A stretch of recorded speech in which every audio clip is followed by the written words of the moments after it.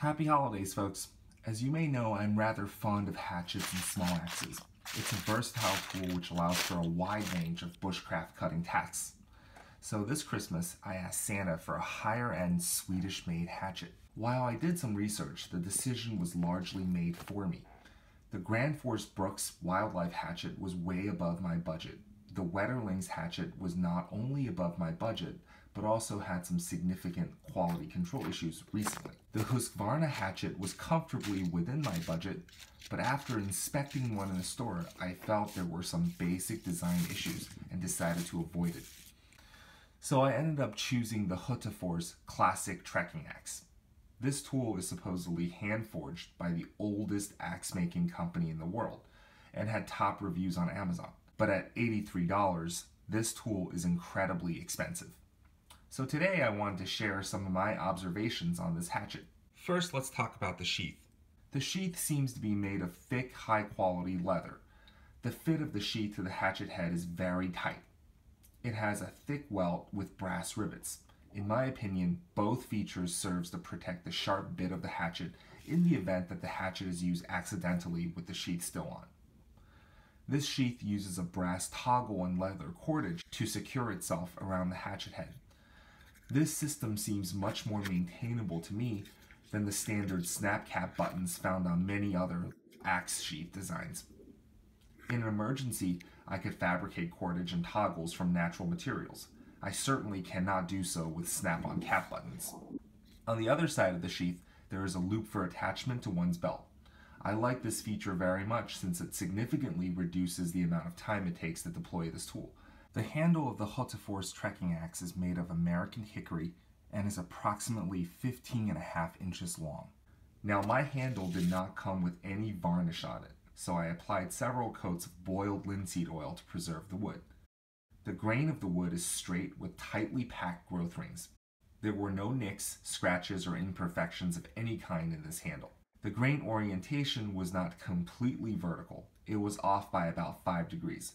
While not at all a big deal in terms of practical use, I would still expect such an expensive hatchet to have a handle with perfect grain orientation. With that said, however, the handle was incredibly thin. This feature should offer not only enhanced cutting power for the same amount of effort, but also many comfortable gripping positions along the entire length of the handle. Now, what shocked me was the insane balance of this handle. It is perfect.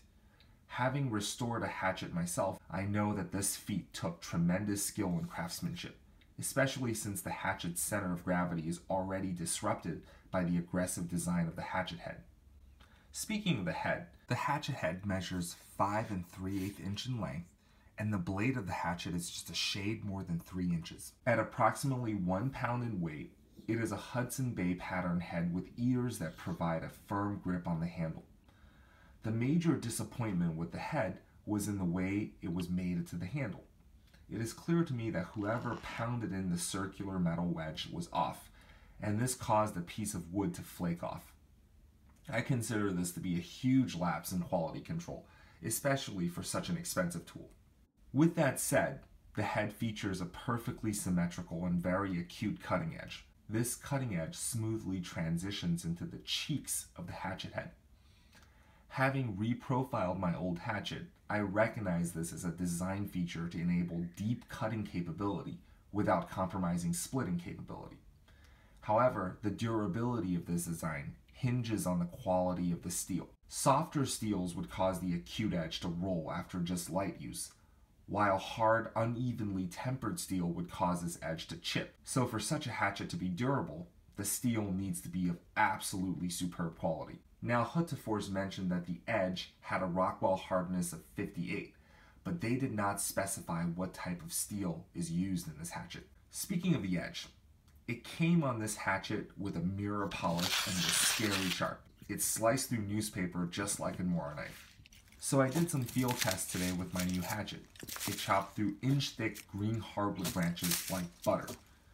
Two inch thick dead standing softwood was sliced cleanly through with usually one chop. The thin handle allowed for easy grip adjustments, making it almost effortless to switch between deep, powerful cuts and light, high precision cuts. The thin handle also seemed to noticeably reduce hand shock, when making hard strikes. I then decided to up the game and put this hatchet through the toughest cutting test in my part of the world, dead standing dogwood.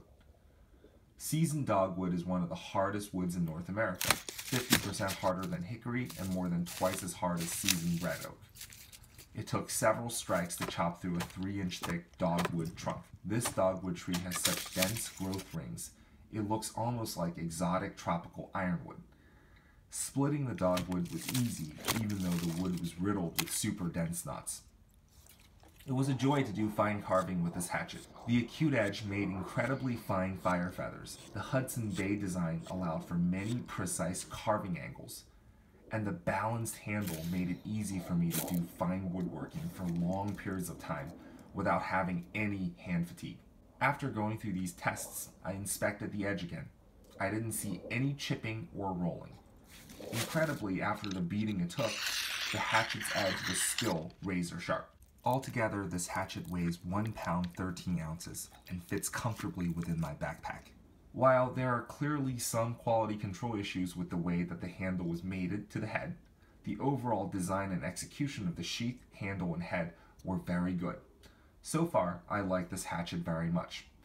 In the future, I would like to spend more time with this hatchet. Specifically, I want to see how well the steel performs over time and over varying environmental conditions, such as temperature and humidity. Anyway, guys, thanks for watching. Uh, if you like this video, please consider sharing it and also subscribing to my channel. Take care.